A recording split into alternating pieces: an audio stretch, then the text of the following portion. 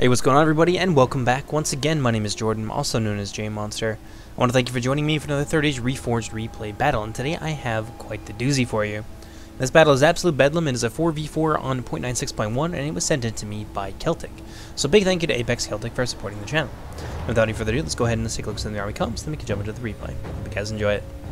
Naturally, the first army we're going to look at today is the army of the, the player that sent in the replay, and this is the army of Apex Celtic, Celtic who is commanding the Haradrim. He's got some Haradrim Spearmen, a very large number of them, quite a quite a huge buffer in this because he's got a couple units of Mumakil. So he had to economize a little bit somewhere. So it looks like three, four units, uh, I'm thinking more like three of the Haradrim Spearmen. Then we have some Southron Warband, who are another spear unit, but a key, key difference that they share with the Haradrim Spearmen is that they are armor piercing. And have a little bit better armor. I think they've got about five armor, which is uh, which is skirting the ceiling pretty well for the the Haradrim units. the highest armor they have is eight on their Black Serpent, so not a very uh, not a very well armored faction all around. Got some Demons of the Desert, body piercing javelins, very nasty. Muhan warriors mixed in with some Southron pikemen. I'm not seeing a lot of archers, however, aside from a lone unit of uh, Shadows, and of course we've got a unit of the Black Serpent bodyguards, which is going to be housing the general. And that is the general right there. Very close to what some of the reskins for Harad are going to look like, actually. Uh, if you guys are curious, go ahead and check out the ModDB page. I believe Kyron Coma just posted three pictures there of the direction that he's going to be taking the Haradrim in, uh, in terms of overall uh, aesthetics, which is really cool. So I recommend you guys go and check it out. In any case, I think that just about does it for Celtic's army. So let's go ahead and move on now to one of his allies. We have another Haradrim force here being commanded by Corsaro 93. He's brought a far different army. Uh, he's got some Southron war or some Southron pikemen, Southron archers up front. Looks like about two units of the Southron archers, uh, three units of the Haradrim spearmen, and another company of the uh, Southron Pikemen out there on his wings. And then he's got some Serpent Guard, who are 123, but that's just because we're playing on small settings. Or not on small settings, we're playing on large settings, so 123 is what they will be on uh, on huge in the upcoming patch, so just there's no confusion there. So we've got about three, four companies of the Serpent Guard. Then we have some Mounted Serpent Guard, some Muhad Beast Hunters, a unit of Demons of the Desert, one unit of Champions of Nafri, which I think has the General in it. Yes, indeed and then a unit of Trollmen of Harad, just one unit, however. And then the other ring has got another company of the Serpent Guard. So that's all I can really see. Oh yeah, of course. Of course, the, the elephant in the room over here, we have a catapult as well. Not something you see with Harad very often. I find Harad tends to tends to play a lot of rush armies, kind of like the army that Celtic has. At least that's that's been my experience so far. And you've seen that a lot in some of my videos, so it's interesting to see a catapult on the field today, but in a team game like this, it can actually pay off. Uh, over here we have Balrog of Mor Morgoth commanding Cardolan. He's got some Minas Girthlin sharpshooters, uh, Minas Girthlin archers, two sharpshooters, and I think two archers as well. Sharpshooters out on the wings, archers in the center. He's got some Royal Court of House of the Rondor, which I th I think these I think this unit is getting uh, a, an overhaul. I, I could be wrong about that. It could be the Arthedain unit, which is getting it, but I know that Kyron Coma has has um, overhauled one of the two units. Either it's the Royal Court of House the Rondor, or it's the Royal Court of House Amlaith. So you might see a, a different uh, model for them moving into our next patch. Then we have some Minas Girthlin Spearmen. One, two, three units of Minas Girthlin Spearmen, backed up, backed up by three units of Minas Girthlin Swords, a couple units of Mercenary War Chiefs, and then some Mercenary Guildsmen. An interesting army from Cardolan. I get the feeling that there are a lot of hidden units here. Maybe some Black Bandits, maybe some Dunedain Rangers, uh, that kind of thing. But we'll see as the as the battle progresses. Let's pop back on over to the other side of the field, and we have the fourth and final blue team army that being the realm of Lindon, being commanded by Apex Peak Keep, which is just peak backwards. I only just realized that. I feel really stupid now. In any case, uh, one unit here, the Wardens of Harlindon, and a unit of Noldoran Horse Lords as well. Wardens of Harlindon, if you guys are not aware, are a Spear Cavalry, Bow Cavalry hybrid. So all around a very, a very nice multi-tool for the Lindon army. Two units here of the Forlindon Marines. I believe two companies of the Forlindon Archers. He's also got a couple companies of the Forlindon Guard as well. Mithlond Pikemen, the higher tier pike unit for Mithlond. And we have some Mithlond Marines, two units of Mithlond Marines, I believe. And uh, a couple units of Mithlond Lancers to round off the cavalry wing. And I am almost positive that there is a unit of Wardens of Elostirion here. Uh, so we may see some of the, the formidable Lindon Rangers make an appearance in this battle. But that does it for blue team. Let's see what the red team is packing. Across the field from Lindon, we have the army of Isengard, be commanded by Eclipse 2500 of the Dark Cloud. He's got some Dunlending Clansmen as his front line. I think just one unit spread out over a large area. One, two, three units of Uruk-hai ar archers. uh, some Uruk-hai pikemen, three units, I believe, of the Uruk-hai pikemen, a bunch of Uruk-hai infantry. We don't have their armor upgrades in the field today. Uh, one, two, three, maybe four units of the Uruk-hai pikemen, or the Uruk-hai infantry rather.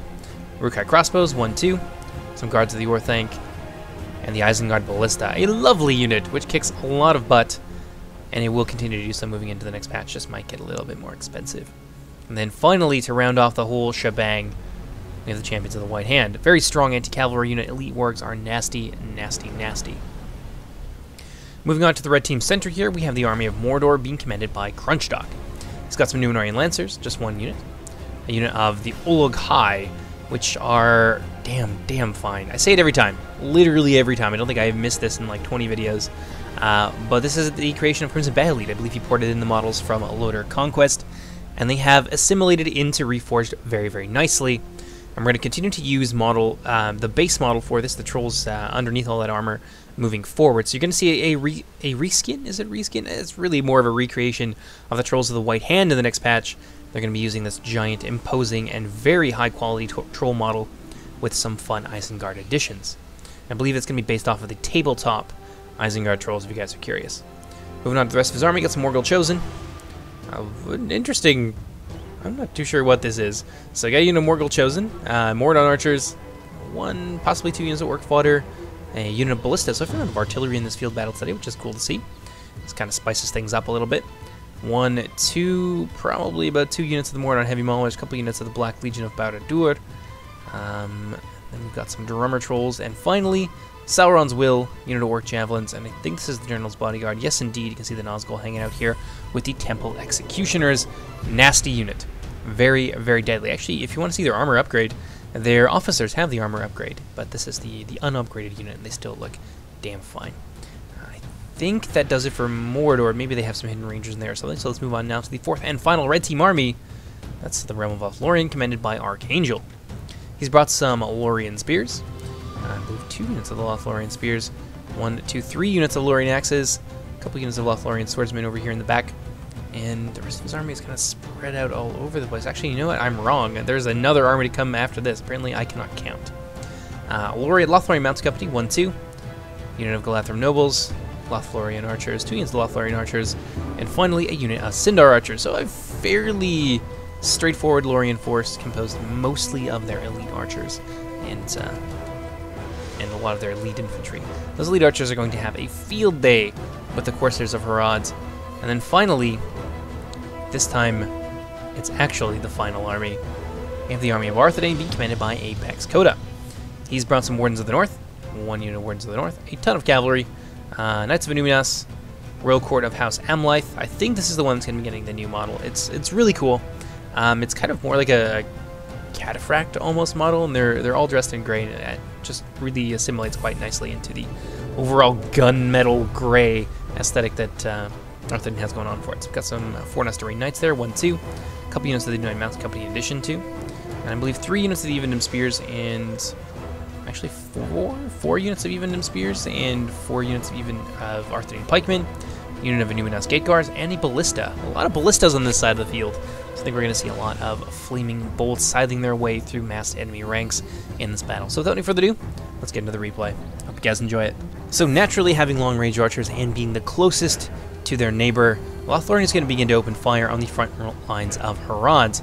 That is mostly going to consist of some Southron archers there, um, and some pikemen as well. I would definitely focus on the pikemen. I think the Elven archers will be able to stand up to the uh, to the five damage of the Southron archers with their fairly formidable armor scores uh, for quite some time. But it seems like instead Archangel's going to go after uh, some of the Southron archers. Maybe he's going to soften them up and switch over to the uh, the Southron pikemen. But this is much more of a uh, a threat, especially to the army that Lothlorien has brought, since they have no pole arms with them. Uh, than I, I think the Southron archers might be. And uh, Harad here under Corsaro are content to just kind of take it. Celtic's going to fall back with his two units of Mumakil. Uh, maybe try and get them away from the Ballistas. Most certainly trying to get them away from the Ballistas, as Ballistas can send them into a panicked rage if they manage to connect. Uh, and it really only takes maybe one or two shots uh, hitting the mark, so it's a good move there on the part of Celtic. Lindon also holding their ground, and so far, kind of just settling in for a bit of an extended skirmishing phase. So let's go ahead, take it up to two times here, and see what Kota is doing with his army over in the back. A lot of his cavalry shifting over to the uh, to the right wing here. Not a bad idea. Uh, it's going to give them local superiority in terms of overall numbers and, of course, their cavalry, which could potentially be uh, a, a, serious threat for the um, for the forces uh, of both Harran and Lindon, because Koda's cavalry alone, I believe, outnumbers the entire cavalry contingent brought by these two armies. So that's a pretty significant boost there. And then, of course, there's the Isengarders uh, with their wargs nearby that can lend support as is needed. So it may be the strategy here to use all this cavalry against, um, not Lothlorien, against Lindon and against Celtic's Harran army and, uh, and try and crush their ground forces uh, swiftly and efficiently. Looks like Mordor might be sending a little bit of help over there as well. So they're really stacking their right wing, and indeed it does seem uh, it does seem like they're trying to set up uh, an oblique order here, where they um, hold elsewhere on the line, and then try and use one of their wings stacked with infantry or just with forces generally, and then roll up their enemy's line. Continuously, the Lindon archers are exchanging fire with the Isengarders. Those Uruk-hai archers are numerous, and they're not half bad, but against the forces of Lindon, they don't really have a whole lot of choice. Interesting formation here from Keep. Uh, both of these units are, are, susceptible to being focused down quite uh, quite quickly by the Isengarder archers. I probably would have tried to spread out maybe a little bit more, or only sending units one at a time. But it could be that he's also concerned about uh, about cavalry problems. So a double line of um, of Harlindon guard getting charged into by units of cavalry. It's it's actually pretty dangerous for the cavalry to do. Uh, loose formation spearmen can be very strong against cavalry charges, so maybe that's, uh, that's the impetus here behind blocking up these forces. Although, as I said, it does definitely make them a little bit more vulnerable to the incoming missile fire from Isengard. Now, what do we have over here? It seems like Arthedain and Lothlorien are abandoning that wing almost entirely, which will be interesting. Uh, if they make a stand alongside Mordor, not necessarily a bad thing, um, but it does kind of give that wing to the attackers, and they may be able to just simply wrap around the uh, the blue team's army and, uh, and really cause a lot of problems for them. So it'll be interesting to see exactly uh, what the strategy is here. The cavalry I can understand, but the entire infantry force, it may be that it's denuded of its cavalry and therefore a little bit, um, a little bit vulnerable. Just one second, guys. Sorry about that. I had my Discord left on, so that's that boop you were hearing. You're not crazy, and no one's trying to get a hold of you, so don't worry about it. Ooh, ooh the lag. Ooh, nasty. It's a big battle, though, to be expected. Lindon moving a lot of their cavalry over to their left wing, most likely in response to the, to the movement of Koda's Arthedain Cav force, which has now arrived on scene. So I maybe we're going to see the uh, the Isengarders begin to uh, to really press Lindon here and try to move forward and use their, uh, along with their ally, use their numerical advantage in cavalry to try and smash Lindon to pieces. And it seems like Lindon is large has largely fallen back with most of their infantry. Um, Isengard taken some really nice bites out of them with their uh, with their catapult. Great even against uh, loose formation infantry units like this. The Isengard catapult does have quite a uh, significant radius. But now a lot of the Lindon uh, Lindon archer force is quite vulnerable. Very exposed here. You got some Numenorean Lancers charging against the Harlindon guard who are going to try and flee in the face of that. But now Koda's uh, Arthedain cavalry force, ooh, some nasty lag, is going to is going to swing into action. You can see all of them moving forward here. Lindon having to move some forward some of their cavalry in response, but I don't think it's going to be quite enough. Uh, they are certainly outnumbered. Wardens of Harlindon can hold their own in uh, close quarters against most of these Lancers, uh, but there are Knights nearby, and there's just so many of these cavalry that I think they stay where they are, they will find themselves surrounded, and that's already beginning to take shape. Uh, at least one unit here of the Doom Knight Mounted Company swinging in around behind them. The Wardens of Harlindon are going to have to uh, to draw backwards. Well, a lot of lag here. That's really obnoxious. Forlorn Archers, meanwhile, now that uh, their cavalry support has been driven back, are actually going to be broken quite quickly by a nice cavalry charge here, but they're going to find themselves extremely isolated. It's going to be hard for them to deal with. Pop back here across the fields.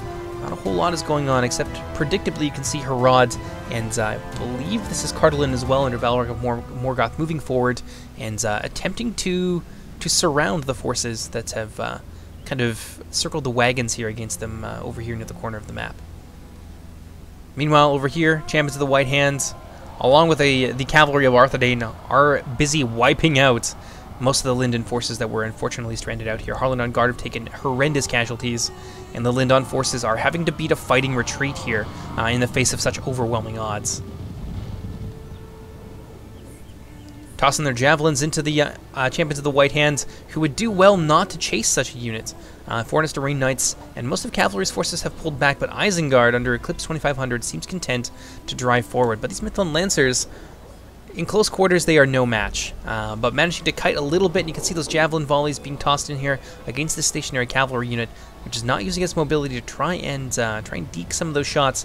They're going to suffer some pretty serious casualties. Down to 15, could see them begin to waver here, and indeed, they break. Very unfortunate. Another attack here from the Noldoran Horse Lords, I think, is the, the nail in the coffin for the Champions of the White Hand here, so that's a pretty significant loss. Um, both sides looking a little bit bloodied here, but it is certain that Team Red has come off uh, the better in this exchange. Champions of the White Hand being ridden down with an Allure and Horse Lords under Apex Keep, who have now changed their target. We're going to take a bite here out of the Uruk-hai Archers, who are now more or less undefended. There is a th small, thin line of Dunlending Clansmen that is moving forward in support. Going to be able to drive those guys back. The Noldoran Horse Lords don't want to stick around for too long. The Dunlendings do have a higher, higher than average cavalry bonus, but their ally Harad, now under Celtic, have surged forward, and they're going to meet Isengard and potentially sweep away this line of uh, here. It seems like Eclipse Dark Cloud has flown a little bit too close to the sun and uh, has found himself caught out here by a sudden sally of the Haradrim. Celtic's army moving forward. Sorry about that, guys. Hopefully that fixes it a little bit. Yeah, it seems to be a lot better. Um, but yeah, Apex Celtic's army moving forward in no particular order. I'm sure they're going to form up here. Um, pretty shortly as they meet some heavy resistance from uh, from Lothlorien and of course from Isengard over there on their left. Mordor forming up in the center here to defend the elves of all factions. You've certainly seen it all at this point, I'm sure. Apex uh, Celtic's Haradrim Black Serpent Bodyguard trying to move here through the center, getting themselves a little bit caught out of position. Well, there are some stakes there too. They're going to have to be very, very careful. The Black uh, Black Legion of Barad-dûr managing to catch them, slow them down just briefly, but it seems like they're going to use this uh, this hole in the enemy advance here to go after Eclipse's uh, Isengard Ballista. That's going to be a big loss. It's a very, very useful unit indeed. Uh, they are kind of positioned between a couple of stakes here, which seems to be giving Celtic a little bit of pause. Uh, Coda's cavalry coming. Oh no! Oh, that's devastating. That is really, really unfortunate. Oh no, not the knights. No, please, not the knights! Oh. I don't think Coda saw it. He definitely didn't see it. I, these are some of his allies, um, ally stakes as well. Ooh, now they're going to run across there. I think we're going to see the loss of much of the Arthedain cavalry. That's a pretty significant misstep there. Oh, now they're going to circle back. They're just destroying themselves. That is devastating. There is still a little bit of cavalry support here. The Black Serpent bodyguards are going to have to contend with uh, significant number of elves and orcs, and uh, some spearmen and some Numenorean lancers mixed in there as well. Ooh, this could be this could be the end for the Black Serpent, if they don't get out of there quickly. Yeah, Celtics definitely realizes the uh, the danger that he's in, and immediately tries to pull out as quickly as possible. Mumakil surging forward. Now we get to see the good stuff. Ooh, they're gonna have a field day with the Isengarders. Boom, baby. So Isengard is going to fall left and right. Let's kick it up to normal speed here and just see what kind of what kind of chaos they can cause. It looks like some of the pikes are actually taking a significant toll in the Mumakil. Um, one of the things that Mumakil are quite weak to is halberds and pikes. So you don't necessarily want to throw them into them from the front. But it seems that this has had the effect that Celtic desired. He's now broken through the Isengard lines into the back. Uh, there is some defense there in the form of some Uruk-hai pikemen. Eclipse definitely is aware of the Mumakil's weakness to pikes, but they're just going to push right through uh, and not give these, these pikemen an opportunity to attack them back. Meanwhile, that second unit of Mumakil hammering the lines of Mordor, and Mordor has no such defenses. Mordor does not have pike units. They do have some halberds, but they are not present on the battlefield, so they're going to be easy prey for those uh, for those giant beasts of war. Meanwhile, all across the line, Apex Celtic alongside his ally, I believe the second Haradrim army is in here as well. Corsaro's uh, army trying to to get in here and surprise Coda's uh, Coda's Arthedain forces. I think that might have been Celtic's uh, Celtic's general getting cut down by some pikemen and some other enemy units, but as I was saying, Corsaro trying to catch Coda out of position. Coda is able to, however, rapidly reform, and now got here. The, oh, the Arthedain Ballista, however, is going to be caught out So that's a lot of money there down the drain. And uh, Corsaro is going to, to, deal with them quite quickly here. The charge from his Serpent Guard holding them in place with his um, with his Haradrim Spearmen. And now a general fight pretty well across the line has taken shape. Mordor's got their, their Troll Drummers exactly where they need to be. A lot of Morannon archers here exchanging fire with their enemies, but there's still another reserve army over here. And in fact, most of Corsaro's army is is lagging quite far behind.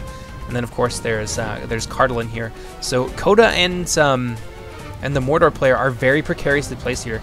Coda and Crutchnok I think are going to have a difficult time trying to hold back their enemies. The remnants of Coda's cavalry, however, have circled back around, and they uh, they are doing their best here to try and scatter some of the Haradrim advanced units under Corsaro. You can see the Haradrim spearmen were driven off quite swiftly. The Serpent Guard now moving in. But it looks like they'll be taking on the Phalanx from the front.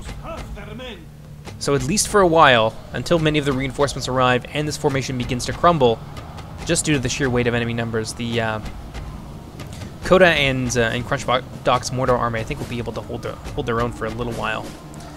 Over here, the Haradrim have suffered quite grievously. I think both of the, the Mumakil units at this point are running amok. I don't know what happened over here. They took a serious amount of damage, maybe from the Orc fodder, but I think possibly from a unit of Javelins that they had nearby. Oh, what do you know, Crunchduck has some Nazgul as well. I'm definitely sure I saw some Orc Javelins in here. Yes, indeed. I think this was the downfall of the Mumakil. They don't have the Throne trait, but over time they will take a toll. It is AP missiles. Isengard, oh, meanwhile, over here against the, the meat and potatoes, I think, of the Lindon army with some small elements of Apex Celtics. Haradrim force over here. They're doing reasonably well. Although they have kind of run into a bit of a slog here against the massed ranks of the Mithlond Pikemen. They don't really have anything at this point to try and just push their way through, uh, or even to outflank them with the loss of their their champions of the White Hands. They really don't have a whole lot of choice here except to try and grind the elves down through sheer attrition, and that's the kind of fight that is always going to favor the elves. Uruk-hai archers, however, from uh, from Eclipse, circling around the rear of the Lindon formation, uh, looks like, yes indeed, there are some rangers on the field today, and they have been activated. A full company of the Wardens of Elostirion. Looks like they have the same idea as Eclipse 2500. They're going to try and get around the Uruk-hai forces, lay some enfilading fire into this massed blob of infantry, and to devastate their opponents. Uruk-hai archers over here doing their best to do the same thing. Mithlond Lancers, however, charging them down. it seems like the Wardens of Elos might be moving forward in support as well. Wardens of Elos are no joke. A lot of damage, a lot of melee defense, and they make up uh, they make up for their lack of armor with those two stats more than enough, I would say. So the archers here not really going to be able to do what they need to do. Snaga skirmishers, however, are fairly uh, fairly ably placed here, able to toss their javelin payloads into the Forlindon Marines. And some Uruk-hai pikemen moving forward to try and back them up. So it doesn't seem like the Mithlond uh, Lancers here will be able to do the work, I think, that um, that Peak needs them to do at this point. This flanking movement is well po poised to uh, to deal a death blow to this Lindon army. Warns of Elostirion holding their ground. I think they're going to begin to fire directly into the Uruk-hai pikemen or into the Uruk-hai archers. What do we got here? Rear shot against Numenorean Lancers. It's always iffy. I don't find that I don't find that cavalry units are usually spaced close enough together to be worth uh, using your BP arrows on them, but I suppose at this point it's really more of an act of desperation, uh, as I'm pretty sure that's the only unit that uh, the Apex uh, Peak ha still has available to him. Uruk-hai Archers opening fire point blank into the Wardens of Elostirion, bypassing that massive melee defense score. Very, very nasty indeed. Let's move over into the center of the of the fight here, where the Uruk-hai have managed to break through. Thieves of Tharbad under Cardolan, however, being mobilized. And this is going to be a tough spot for Team Red to be in. This is exactly how you want to use assassin units like the Thieves of Tharbad.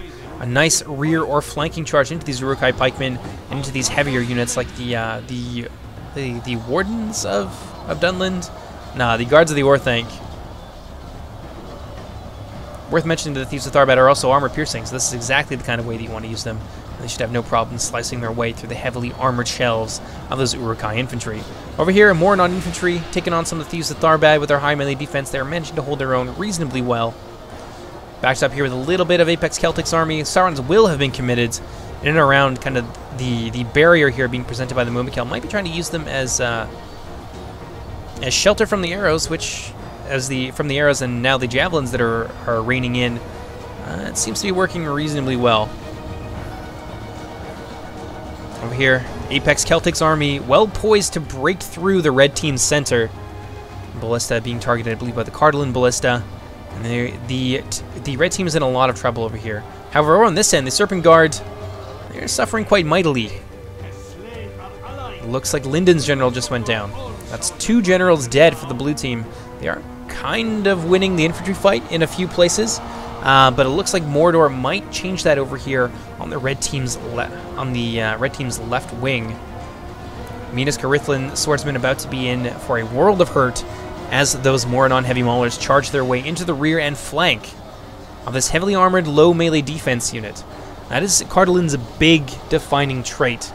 They don't have a lot of morale, and they don't have a ton of melee defense. However, they make up for that in armor and shield. But that is exactly the kind of bonus that the Morannon-heavy maulers are designed to uh, to deal with.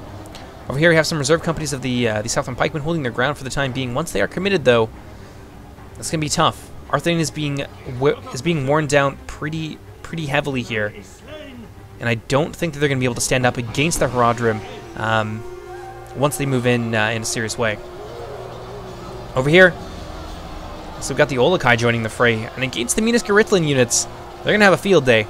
That's going to be a lot of dead Minas Garithlan warriors, Demons of the Desert mixed in there as well. That might help turn the tide. Ooh, I don't know what that was from, but that was devastating. Looks like the ballista. Somebody's ballista. It might have been the Orcish one. And that is actually routed Celtic Center, where he was doing so well previously. He was ready to bust through here, and I think maybe Isengard might have their ballista online as well. Yes, indeed.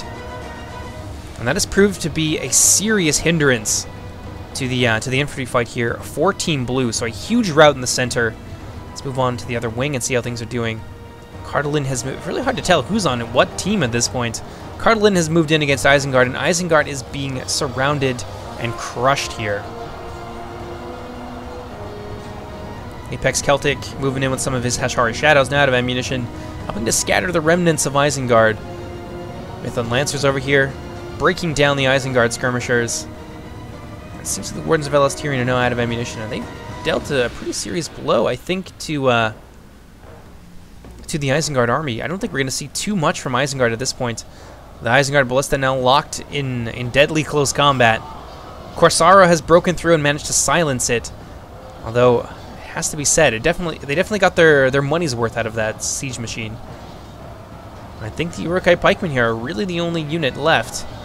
Uh, there is still something resembling a front line, but it's not going to hold out for too much longer. Cardolan is coming in in a big way, and the Isengarders will soon find themselves surrounded, and I think that's going to be the end of them. It'll probably be the final action that Isengard army is able to fight. Celtic's army over here, backed backed up with some Minas Garithlan uh, warriors, warriors, are managing to break their way through, but now the elves, Arch Archangel's Lothlorien army, which previously hasn't seen a whole lot of action, now moving into the center here, try and pick up the uh, the fallen rifles of their of their Mordor comrades, and staunch the bleeding, so that their line is not completely compromised. Lothlorien spears have moved in against the forces of Cardolan and some Demons of the Desert. The Demons of the Desert are really the only thing that's holding the elves of, uh, or rather the, the forces of Cardolan in place. Still got a couple of Olog-hai in there, though they are slowly beginning to fall. I don't think we're going to see too much more from them. Cardolan's army arriving when they did is a big, big problem for Team Blue. Archangel is doing his best here, uh, as is Kodo with his Wardens of the North. Not too sure what they're shooting at, but look at the reserves that they still have available to them. Champions of Nafarat, Trollmen of. It's going to be a tough fight. They certainly have more reserves than their enemies. Although, out of nowhere, some Sindar Blade Masters and the Lothlorien Sword Masters being uh, maneuvered into position. Arthedain's pikemen have held up so long against incredible odds. I honestly thought that Cardolan would be able to, to, to break their way through, but apparently not. Cardolan's forces are actually suffering a significant setback here, as are uh, the remaining forces on this on this right wing of Corsaro 93. It Seems like maybe the red team might be able to pull it back. They seem to be winning on that wing, but they have certainly lost over here. And now Cardolan has finished off Isengard, along with what remains of, of Lindon, which is, to be fair, is not a lot. They are now moving around the line, looking to uh, to sandwich what remains of the of the red team. So let's go ahead, kick things up into into full speed here. And see exactly how they managed to deal with this.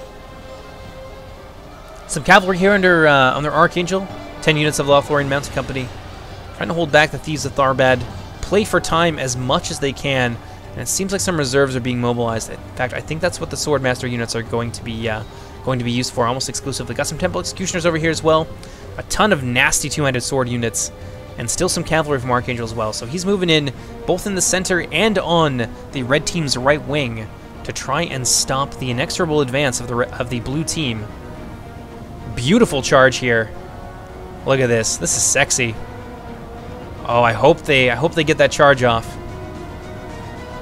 Ah, oh, come on, Archangel, do it for me. Nope, it seems like the initiative is going to be given to Cardolan here. Lothlorien Swordmaster is going to get countercharged by the Mercenary War Chiefs. Thieves of Tharbad moving in there as well. That could be decisive. They do have fairly high melee defense. Mercenary Guildsmen, they are going to get absolutely massacred by those uh, two-handed sword units.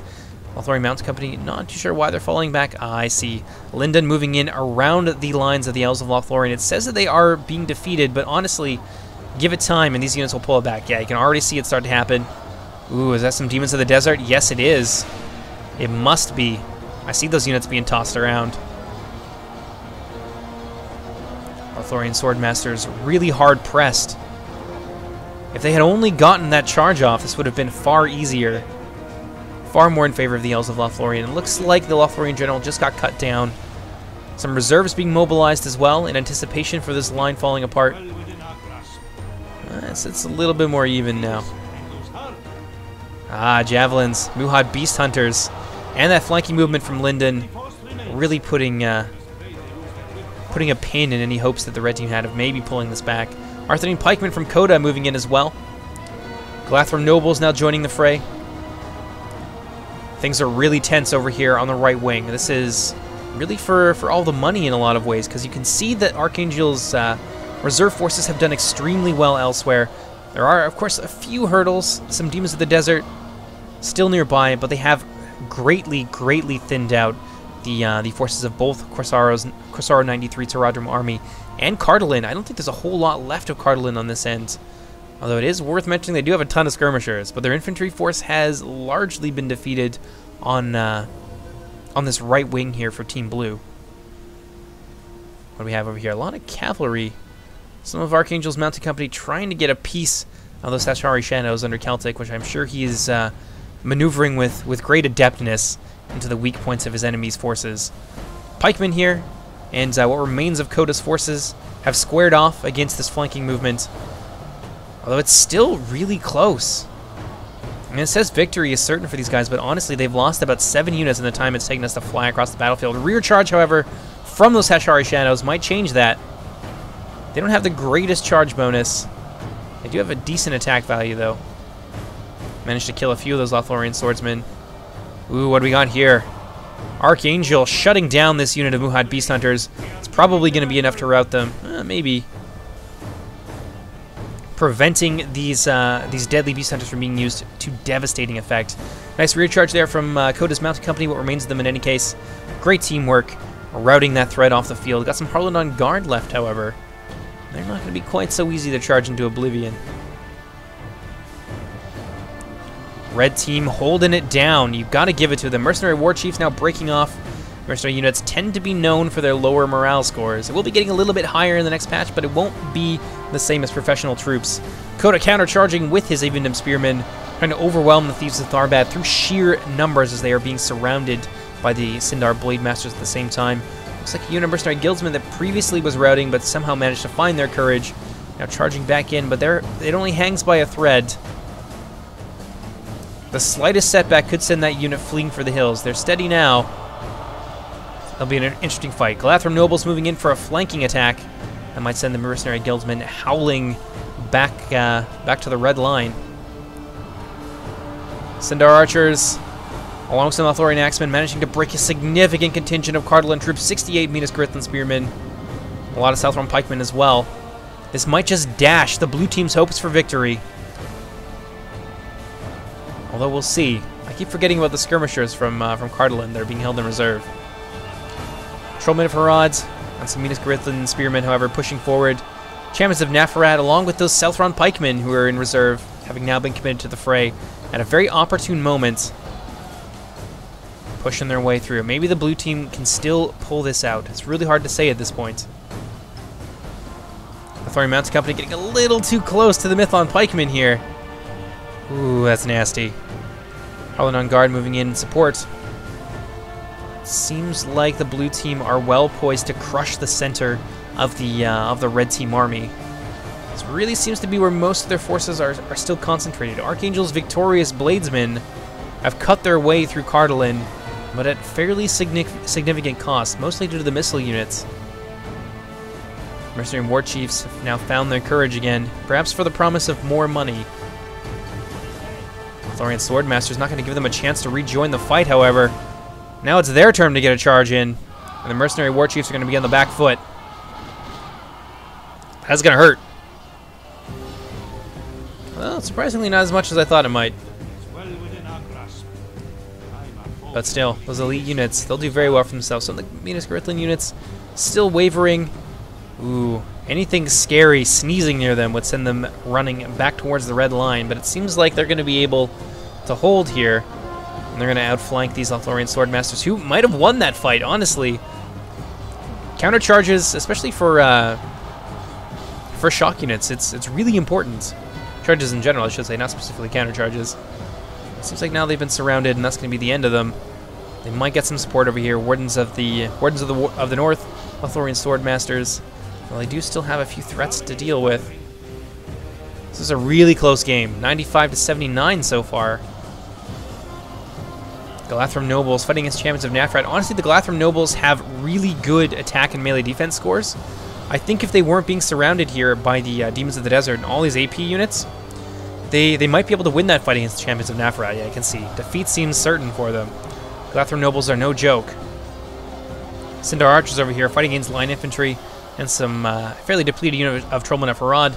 Nazgul beating down these Trollmen. That's going to be no problem for the Nazgul. They, their attack far outstrips the meager defenses of the Trollmen.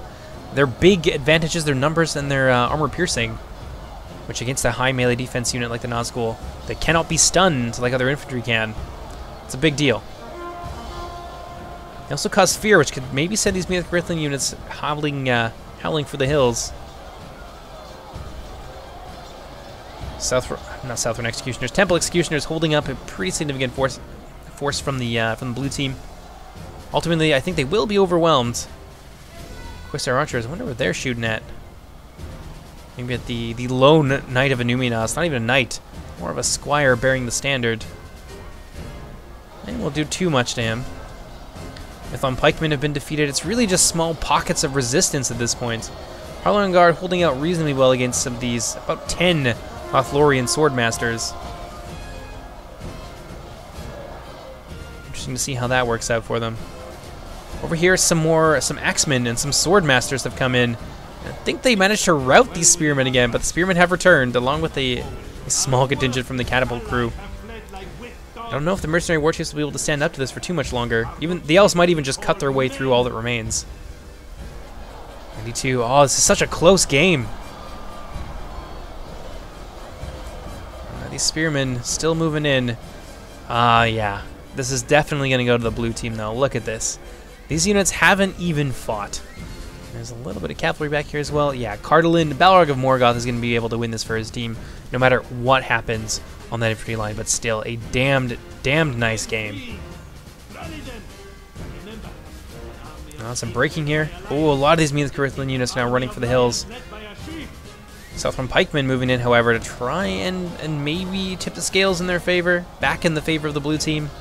Temple Executioners, though, they simply will not die. Surrounded by AP Pikes and Spearmen, horribly outnumbered, they have somehow managed to hold their ground and almost cut their way out of that encirclement. Very impressive indeed. Shameful display here. Miasgarth and Spearmen fleeing while their allies still fight. Lothlorien axes, small numbers of them, but still significant. I think this is going to be the end of the blue team's infantry. They're going to lose the infantry fight, but with all that they have remaining, it's not really going to matter too much, I think.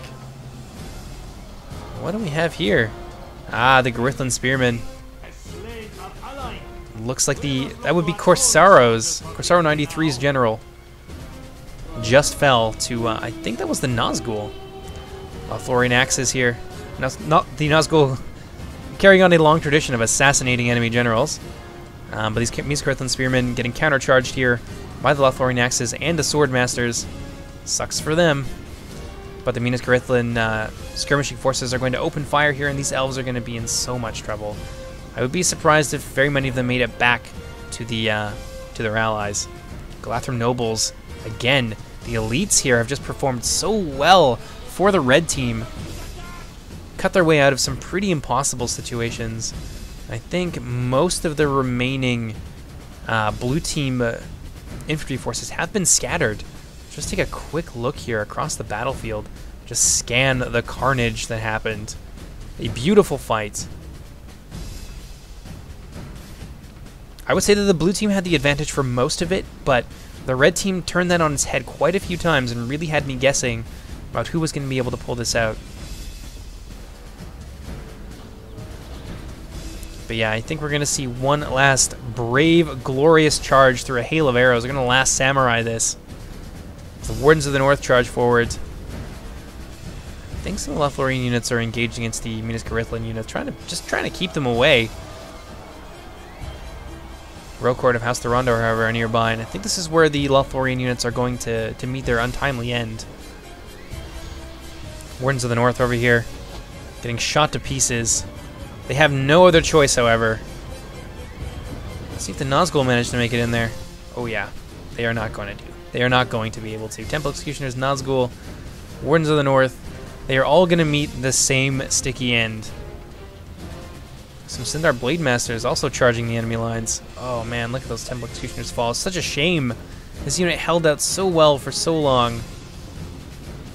Against some pretty incredible odds, but I think this is a bit of a tall order for them.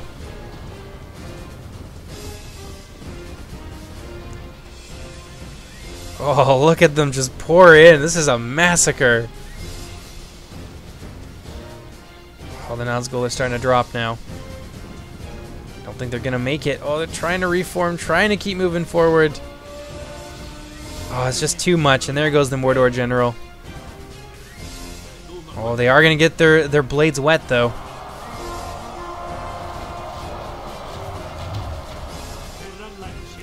Glorious charge there by the Nazgul and the remaining Temple Executioners, but they can't cut their way through all of this. Two nine Rangers back here as well. That might have been why the infantry fight was just so close and that the blue team ultimately lost it. They had, like, this is probably like three, 4,000 florins maybe just sitting here in the back, but it worked out. A cunning plan indeed. Royal Court of House Thorondor rear-charging what remains of the Mordor infantry. A meager two Temple Inquisitors, or Executioners rather. Well, they managed to take down a few of the archers. Not enough, though. One Nazgul, one Temple Executioner.